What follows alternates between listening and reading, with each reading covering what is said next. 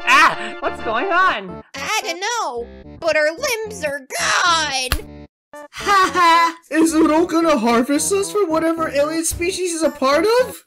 No, if he was, he would have done that already. We're stupid enough. Perhaps the events of everything that have happened so far have all been just a dream. No, worse, it's all been real.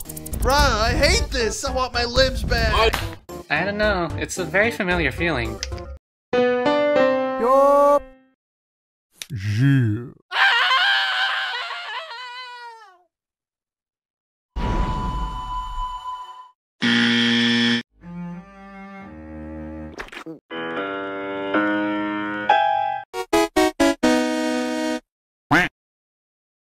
It's the underdog.